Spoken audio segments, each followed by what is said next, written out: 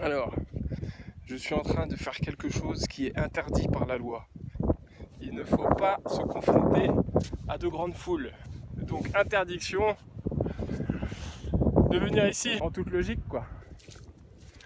Je suis un dingue. Hé le coronavirus! Je te nique moi, qu'est-ce qu'il y a? Ah, Vas-y viens, je suis un chaud Allez! Qu'est-ce que tu crois Moi j'ai pas peur de toi? Je t'attends. Je te dis je t'attends. Viens, viens vraiment un chaud Qu'est-ce que vous croyez? En même temps, je sais pas qu'est-ce qui est le plus dingue. Est-ce que c'est venir sur cette plage pendant le confinement?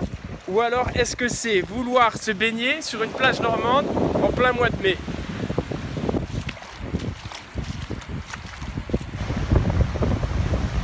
Bon allez maintenant j'ai bien fait le malin, en plus j'ai des courses à faire, le supermarché il va bientôt fermer, je vais me taper une file d'attente, bon par contre j'ai le droit. Je reviendrai, je reviendrai. Il faut quitter la plage maintenant, faut que j'évite les patrouilles maintenant. C'est chaud, c'est chaud, c'est chaud.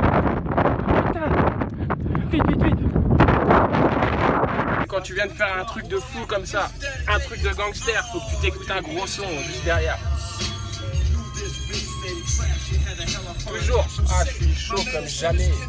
Je suis chaud comme jamais.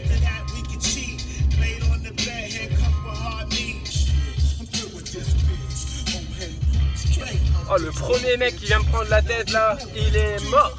Il est mort. Bon, revenons à des choses euh, un petit peu plus sérieuses quand même. Voilà, vous avez bien compris l'idée euh, un petit peu humoristique de ma, de ma vidéo.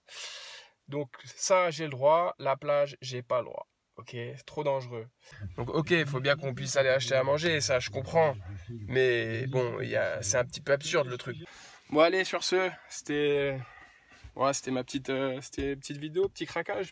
Et en plus, les gens, il y en a tellement qui nous ont cassé les couilles avec leurs vidéos sur le professeur Raoult, sur euh, les médicaments. Donc Laissez-moi faire juste ma petite contribution à ça, à ma façon.